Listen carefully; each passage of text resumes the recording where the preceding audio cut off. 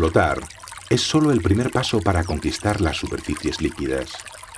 Caminar sobre un río sin mojarse es otra victoria aún más compleja. Los zapateros andan sobre el agua en sentido literal.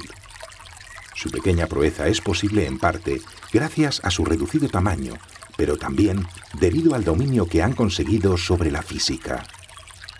Su éxito, su habilidad para no hundirse, se basa en el aprovechamiento de la tensión superficial de las moléculas de H2O.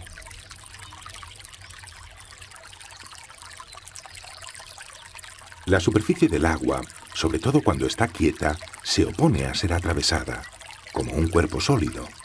Su resistencia es menor, pero está ahí. Los que se hayan tirado a una piscina sin medir la contundencia del golpe lo saben bien. El zapatero usa los mismos principios para permanecer a flote.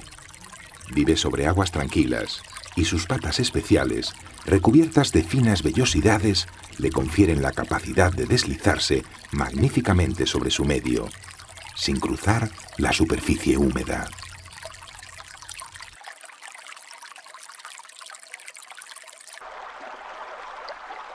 Creando en cada apoyo un pequeño socavón líquido, pueden permanecer estáticos, sin hundirse, a la espera de una presa o una pareja.